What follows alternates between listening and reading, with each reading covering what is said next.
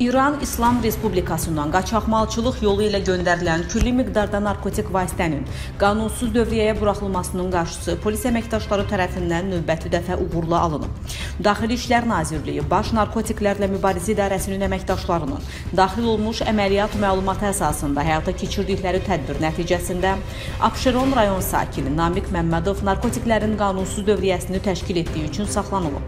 Onun avtomobilinə və üzərinə baxış zamanı 50 kiloqram o cümlədən 28 kiloqram heroin və 22 kiloqram psixotrop maddə metamfetamin aşkar edilərək götürülüb. Namiq Məmmədov narkotik vasitələri İran vətəndaşı, şəxsiyyəti istintaqla araşdırılan Hadı adlı tanışının vasitəsilə Qaradağ rayonunda gizlədilən yerdən paytaxt ərazisində müxtəlif ünvanlara çatdırıb pul qazanmaq məqsədi ilə əldə etdiyini bildirib. Faktla bağlı Cinayət Məcəlləsinin müvafiq maddəsi ilə cinayət işi başlanılıb. Namiq Məmmədov barəsində həbs qəti imkan tədbiri seçilib. Əməliyyat tədbirləri davam etdirilir. Sonuncu əməliyyat zamanı İranda yaşayan və milli genofondumuzun məhv edilməsi üçün narkotikləri qaçaqmalçılıq yolu ilə ölkəyə göndərməyə çalışan narkotacirlərin daxildəki dayaqlarına daha bir zərbə endirilib.